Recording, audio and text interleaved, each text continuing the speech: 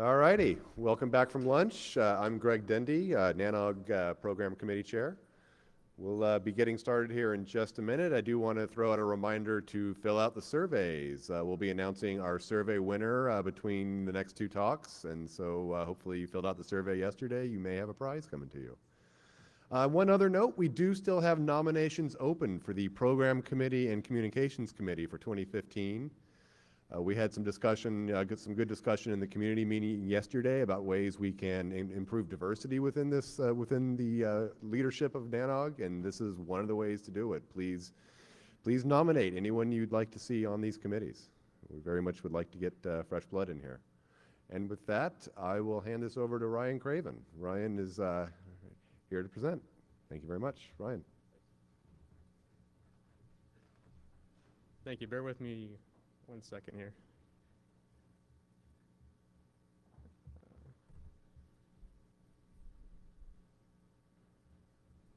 Ryan's got some live demos for us, so brace yourselves.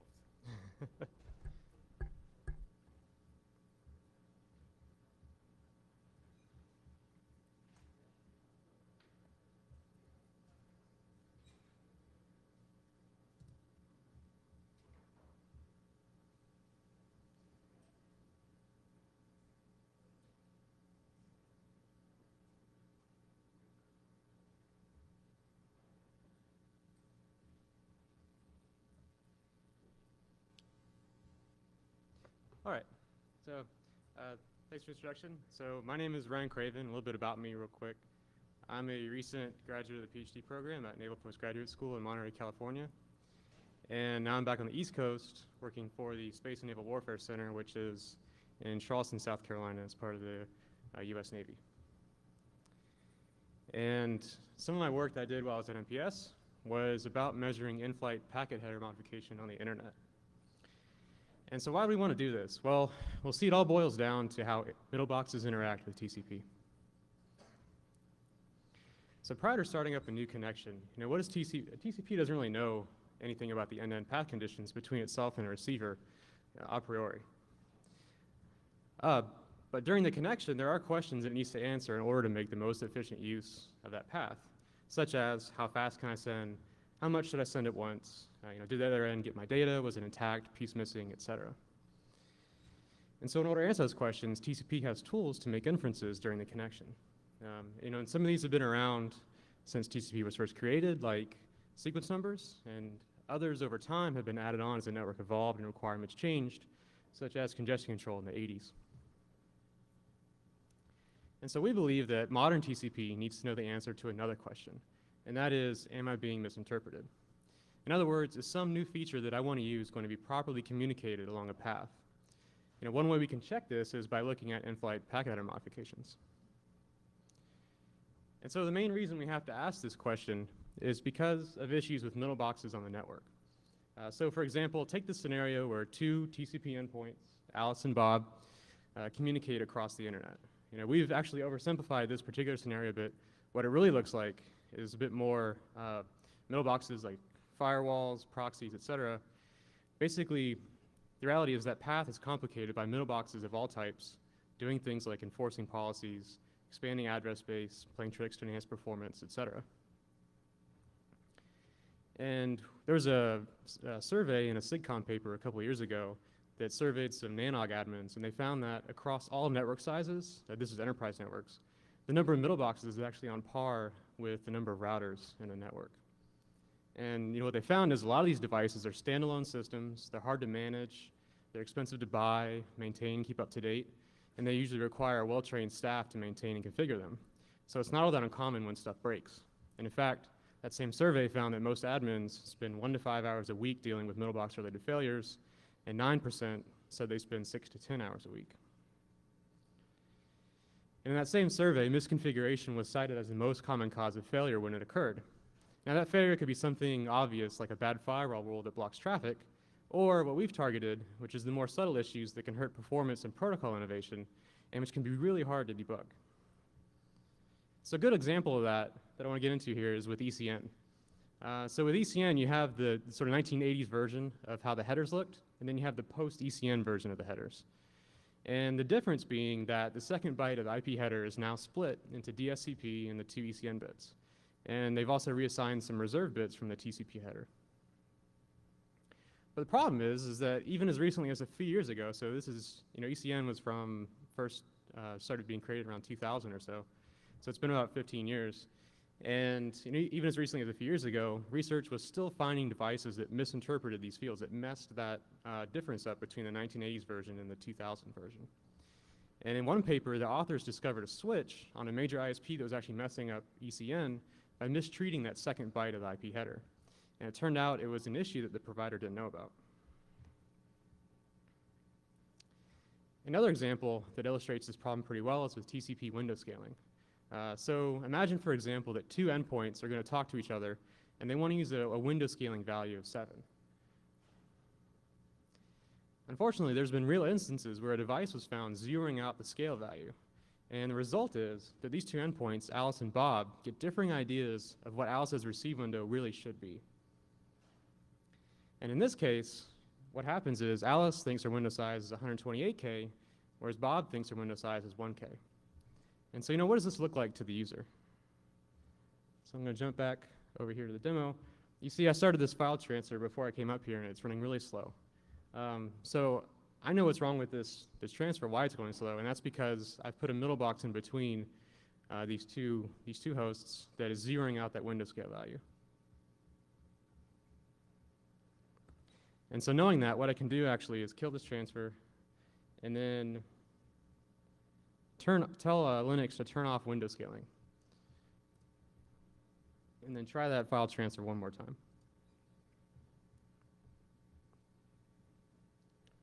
And you can see that it actually runs so much faster now. And it's a bit counterintuitive because if you look up window scaling in RFCs, it's in an RFC titled um, High Performance Extensions for TCP. And we actually got better performance by turning it off. And so why was that? Well, it was because of that, the middle box that's in the way.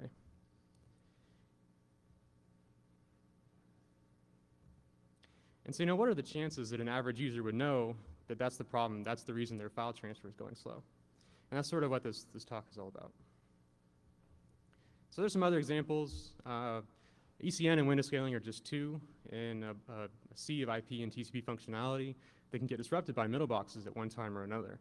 Uh, there are actually other issues we've seen, such as TCP selective acknowledgements, um, artificial flow control using the receive window, and then a whole bunch of stuff in the IP and TCP option space. But the high-level takeaway from all this, though, is that you know these are real problems. They're going to continue to occur. The network's not getting any less intelligent. And something important to stress here is that even when these issues occur on just a small percentage of connections, they can still have a wide-reaching impact. For instance, just a small percentage of connections affected is enough to dissuade, for instance, a large content provider from turning on some new feature. So in that sense, it can really hurt protocol innovation. But we do recognize that middle boxes can and actually do do a lot of useful things for operators, providers, and then sometimes customers. And so we want, really want to be able to detect and fix these without disrupting the, the more well-behaved middleboxes. And so wouldn't it be great if we had an easy way to detect these? It could benefit researchers with new measurement tools, TCP performance extensive, in terms of performance and extensibility, and then, of course, operators for better end-to-end debugging and leading to happier customers. And this end-to-end piece is pretty important because you know, if the problem is somewhere that's outside of our administrative control, it can be much harder to debug and it often requires cooperation from another endpoint to do some testing to, to really determine it and figure out where the problem is and, and what's causing the, those issues. So there are some tools out there already to help us with this. Uh, if you do have a cooperating endpoint, you can actually, of course, you can just run tcpdump and manually compare the output and see if uh, a middlebox is changing something in your headers.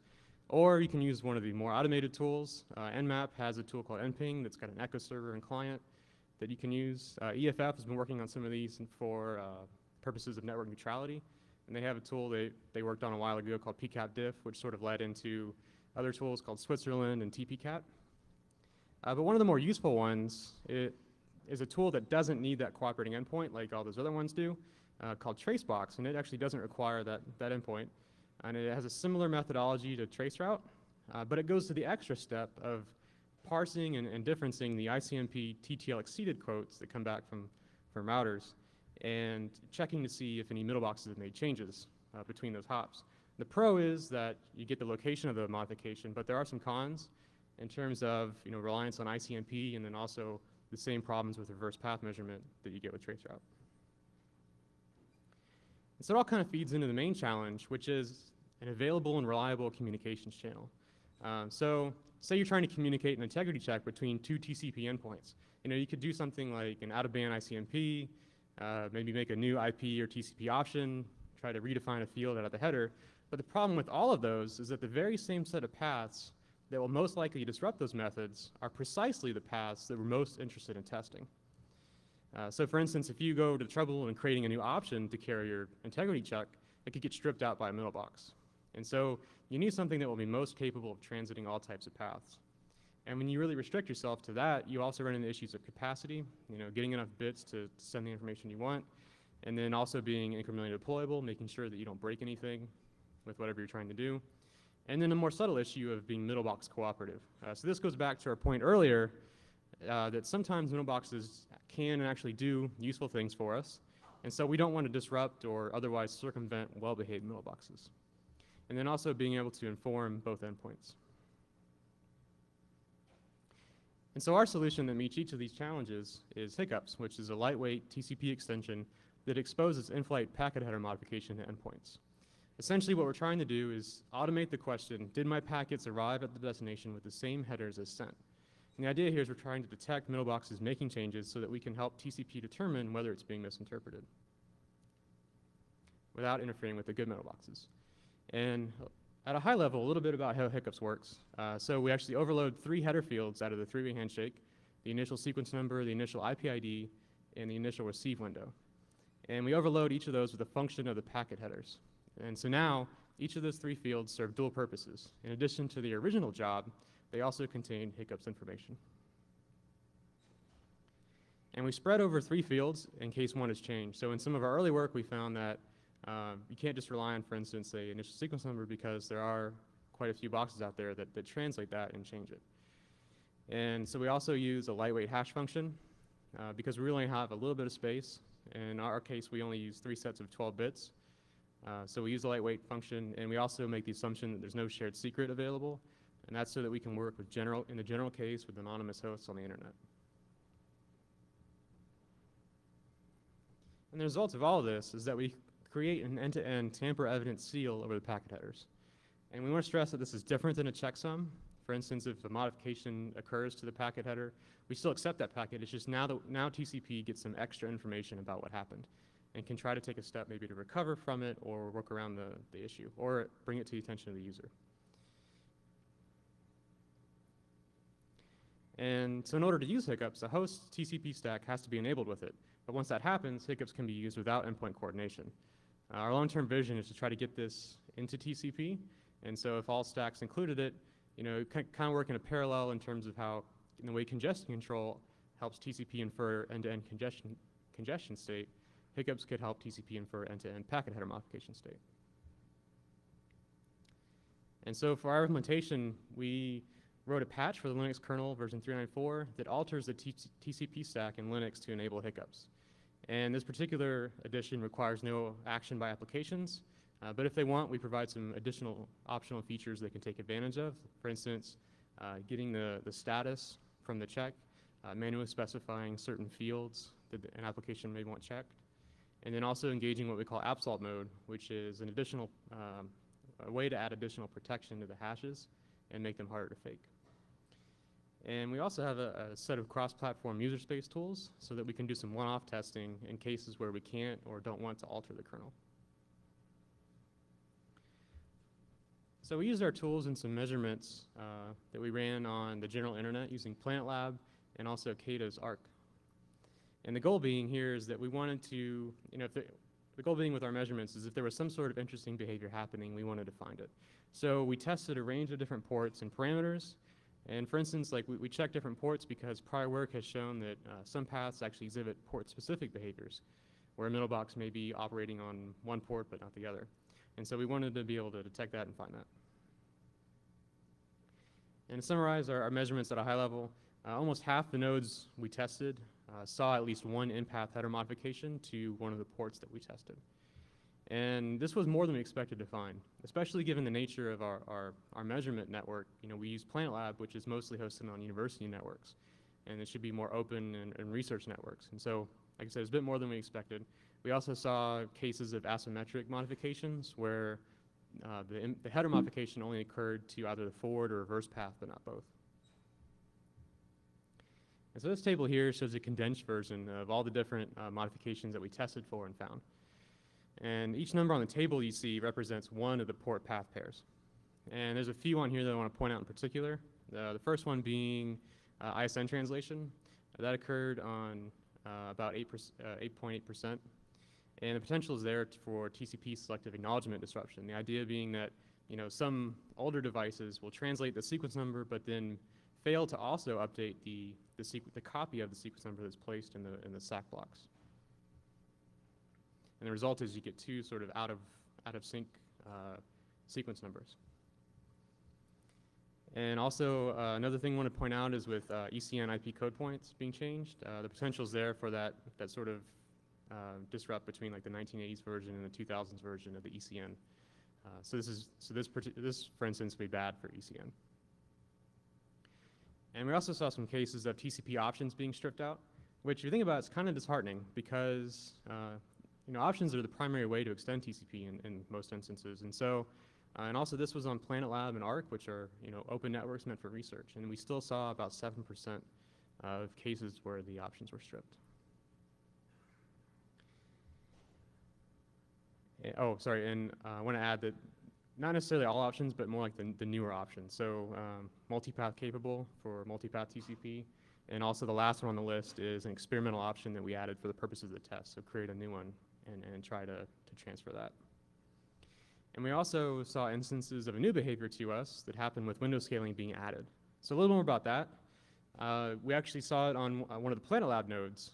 There was, uh, whenever we tried to send out uh, a SYN packet without requesting window scaling, there was a box along the path that was like, oh, I'll help you out. You missed window scaling. I'll add that back for you. And on the SYN-ACK, it also removed the, the responding window scaling from the other end. And so we never knew what was, we, we didn't know what was going on. And um, this only happened, what we discovered is only happened when we we're going out to ports 80 or 443. And window, uh, hiccups helped us detect this.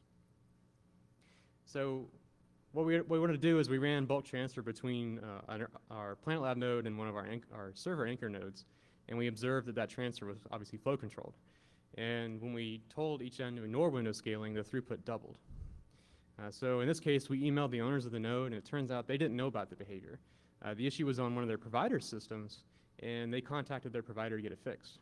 Unfortunately, we don't know any more details about what it was, but the cool part is that Hiccups detected something that even they didn't know was happening. Uh, it was a subtle issue that affected the whole campus, and they were able to get it fixed. And I'd just like to point you to our website, tcphiccups.org, where we have uh, posted our, our code. It's available for download. Uh, you can grab one of the kernels and deploy it. We have some RPMs available for Red Hat Fedora. And you can also use the user space tools uh, and go and test your own networks and see what you can find. Um, if you were to do that, I'll show you real quick what that would look like. Uh, back on our little demo here. So in this case, remember what's going on here is there's a, a middle box in the way that is zeroing out that window scaling value.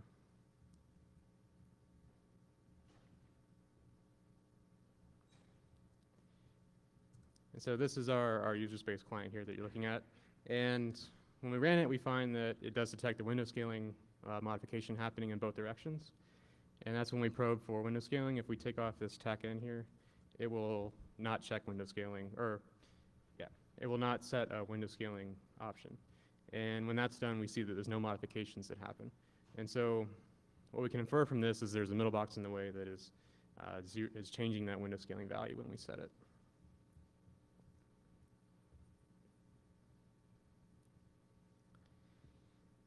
And so uh, last, we also have an email address set up where you can send us any feedback.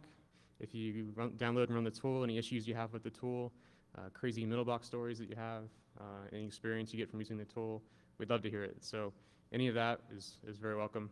And that's hiccups at cman.org. And with that, uh, I'm finished, and I'll take any questions.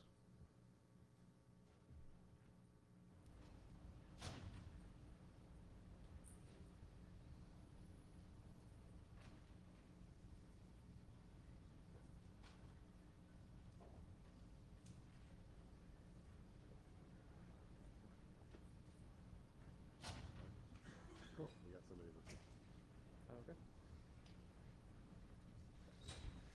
Ralph Mullen, Internet Archive. I would love to use the tool and easily can put a new kernel on one end, but on the remote end, I might have more restrictions on what I can do.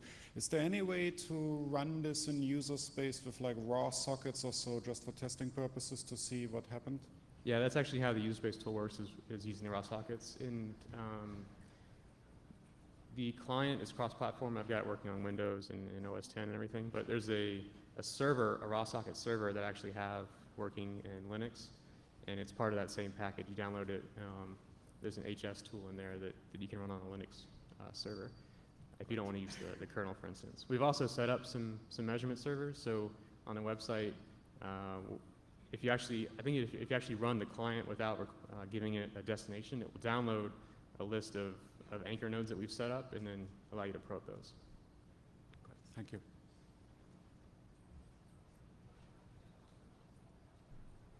Any more questions? All right, thank you very much, Ryan.